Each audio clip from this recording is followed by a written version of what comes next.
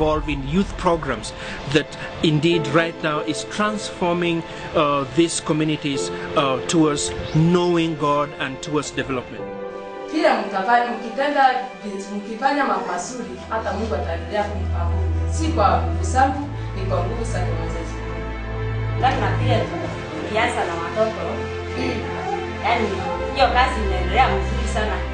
Sikia hata huko kwa ujago nasikia watoto wana yani wana wanasema yale maneno yote tulikuwa tunasoma kwa nini. Hata ile ma, mambo tunafanya huku unakuta una watoto wengi wanafanya kule kwa uwanja ama huko kwa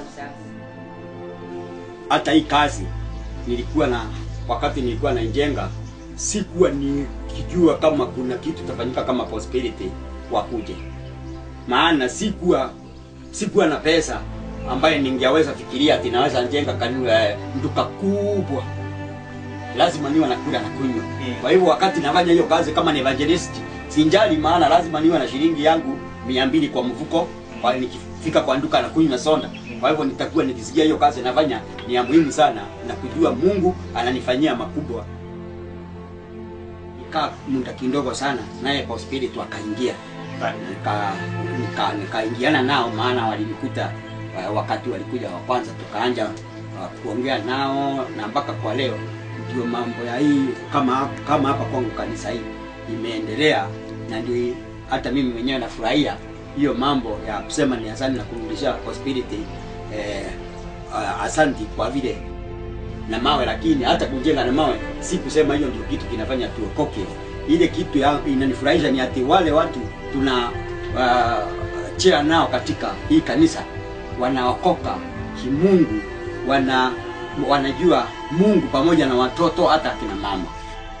Sema ni asanti kwa mwenyezi mungu pamoja na pa maana hii kazi kama hii hii ya, hii kanisa wanisaidia bahali mrefu sana.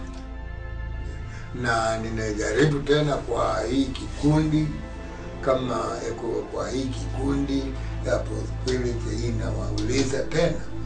Wajaribu kuniinua ama kunifikiria kibiashara kwa sababu sintatumia ile nini yangu sintatumia mabaya Sasa ningeuliza hawa, mnaweza ongea maneno mengine kuhusu hiyo pesa anainuka kidogo. Unaona kama unaona mahali anajengea ni mbaya, yani ni- unaona vile iko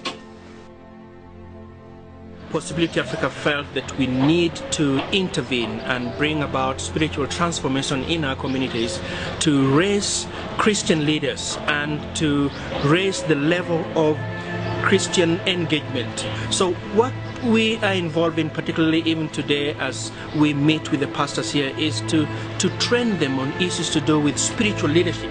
How can they lead their community towards development of Christian values. How will they do ministry to the children? How will they do ministry to the youth? How will they do ministries to the to the women? And, and we just want to thank God for uh, the opportunity that He's given us as Possibility Africa to, to be involved in this ministry of transformation and more particularly uh, through the church.